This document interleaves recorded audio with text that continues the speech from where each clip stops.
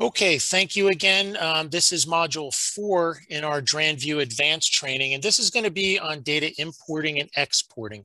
So DranView Pro and Enterprise, um, this is this has the uh, this is compatible with both versions of them, um, have the ability to import various data formats and export into a couple data formats. So uh, we're going to cover them individually. Let's briefly talk about the uh, the import capability. And that's really a file open. So if I go file and I go open, you can see I'm path to the SAG directivity uh, um, subfolder that I have. But if you look here, just like any Windows program, I have the ability to pull down the file type here. So you can see a heck of a lot of information here. So you can see all of our various instruments listed here from current instruments to um, a lot of our legacy products as well. Uh, but you can also see a PQDIF format. You can see a ComTrade format. So really those are the, um, there's kind of three different things that you're going to be importing in general. The first one is just open up a file from an instrument. Likely today that's coming from our HDPQ family, possibly from our PX5 family um, which is here in the list somewhere. I'm missing it. Um, but also, you know, those come directly from instruments. But also, you can open up a PQDIF file. So if you have uh, some product that recorded or software that recorded in a PQDIF file, as well as ComTrade files. So ComTrade is going to have some sort of oscillography, maybe from a DFR or some other information. So PQDIF is an industry format, IEEE 1159.3 and ComTrade is um, C37.1 or something like that. Don't, don't, don't hold me to that, but it is also a, uh, an industry standard. So to open up a file, you would just simply do file and open and you would select it in that format. That's exactly what I did before when I opened up our SAG directivity example in our last section. I just opened the PQDIF format for here. You can see it's recorded SAG directivity, PQDIF, open, now I've added another tab or it's adding another tab right now with that file format. So it's that simple. So um, when you import data, it's more like opening files. Now, exporting data, that's extremely powerful. Maybe you want to export it to go do your own work in, um, in Excel or something more advanced in MathCAD or other uh, math packages. So DranView has the ability to export most of the time. It's in a comma delimited, delimit, delineated format, if I can speak, or tab delineated or other type of format. So it's the process of either doing one of two things you can take the data from DranView, and what I mean by data, you can take a timeline, everything that's in a timeline or at a particular zoom level, or you can take the wave shapes here. It depends upon which pane is the active pane. So you have the ability to export that, simply sometimes copy it from the clipboard and paste it into Excel or another application, or save it off as a text file that file can then be imported into Excel or any other package. That's extremely uh, standard way. It's, it's very old way, but it's an extremely standard way of taking sample data. And again, whether it be sampled on the journal level from the instruments in the timeline or digitized on 512 samples per cycle in the instrument. So how do we do that? So you can easily, you could select any of the active pane. Then I go to the uh, View tab and in fact, let me select this and you can see the data table. That's what we're talking about. So anything that you see plotted or graphed in DranView is just simply DranView's um, plotting what came from the instrument or it's been recomputed on an XY plot. So if I just click data table,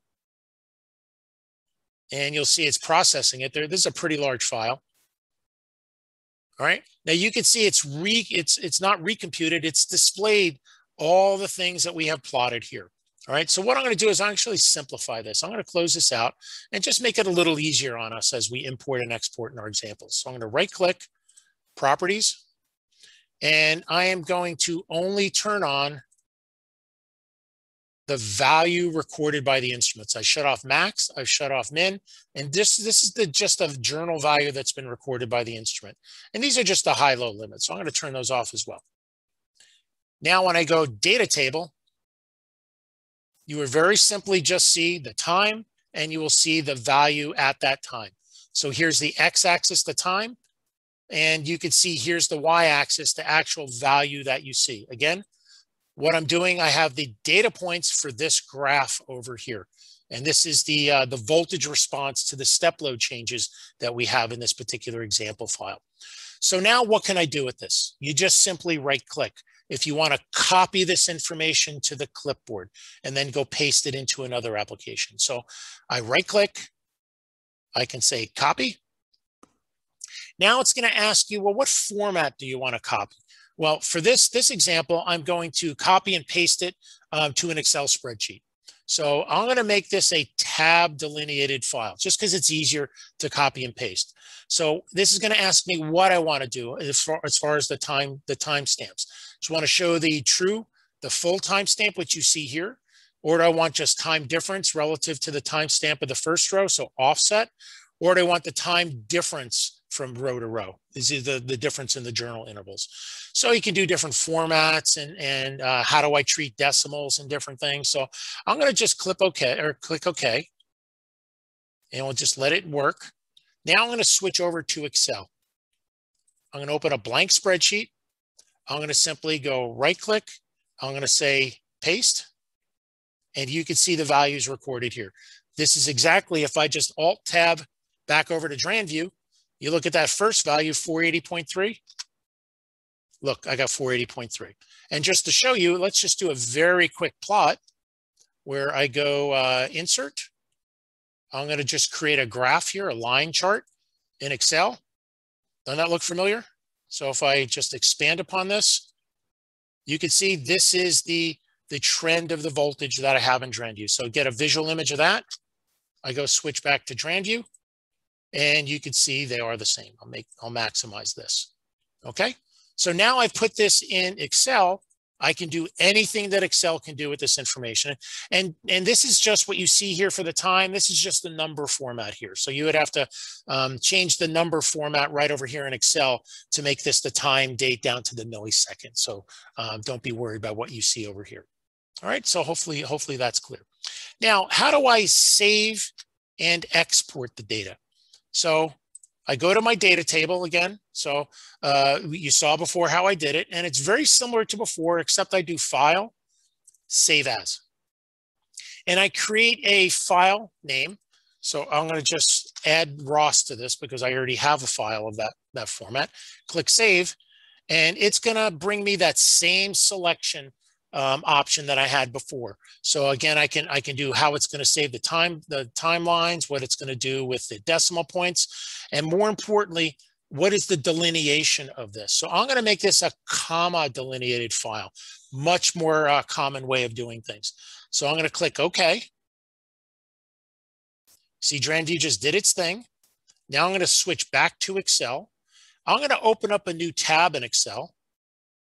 I'm going to go to, I think it's data from text that allows me to do this within an individual tab. And let me just path over. And if I change this to all files, oops, uh, I'm sorry, I'm in the wrong folder. I apologize for that. This is in the uh, generator test. So this is the file that I just created right here. I'm going to import that file.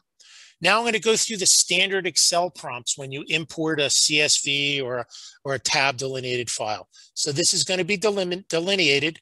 It has headers. And I'm going to click next. This is just a wizard in Excel. And this is comma delineated. Now you can see over here, Excel has detected the file. So I could have done a tab delineated if I wanted to, but I said comma. And you can see here's the, uh, the x-axis, here's the y-axis. I click next. It's going to ask me some other things as far as the type, but we can just use the Excel defaults. I'm going to just say finish. And it's going to ask me where I want to put this. I'm going to just click OK. Now you can see it's the exact same data that we have before. So if I go to our first tab, this is what we exported. I just widen this a little bit, get them the same width versus similar. This is what we copied and pasted from the first time. And this is what I exported and imported. And just to show you, we're going to regenerate the plot. I go to insert. I go to a line chart, select the chart, and you can see this is the exact same thing if I have that I have in tab one here, which is also the exact same plot that we have within DranView. So very, very simple. Uh, again, exporting You, then you can go import to any other package. And when you want to import data into DranView, it's a file and open that accomplishes that.